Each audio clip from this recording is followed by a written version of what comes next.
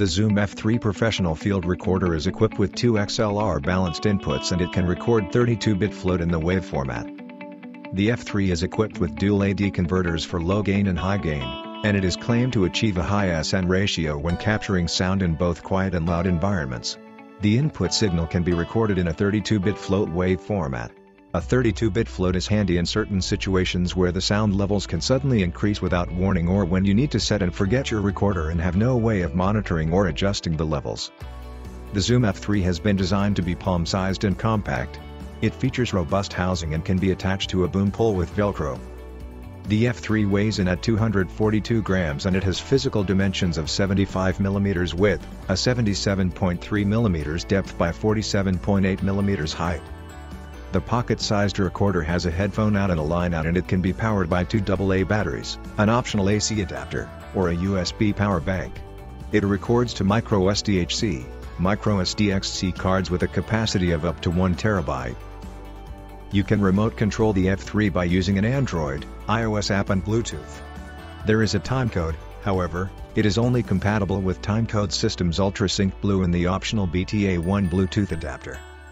Key features includes a 32-bit float recording 2-input, 2-track field recorder. No gain adjustment required. Two independent XLR balanced inputs with locking mechanism.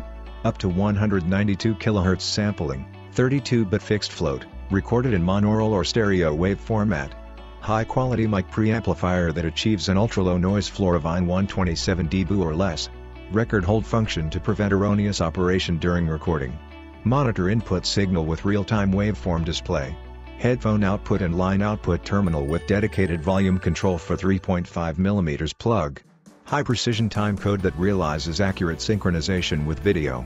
Remote control from the Android, iOS app F3 control via Bluetooth connection. 2 in, 2 out, up to 96 kHz, 32-bit float compatible USB audio interface function.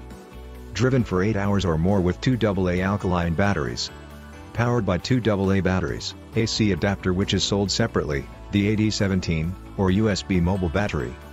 Bluetooth adapter BTA1 and timecode systems UltraSync Blue are required separately. Android, iOS application F3 control will be released in March 2022. Bluetooth adapter BTA1 is required separately. Supported by firmware update scheduled to be released in March 2022. There is currently no indication about pricing or availability yet. It is scheduled to start shipping at the end of February.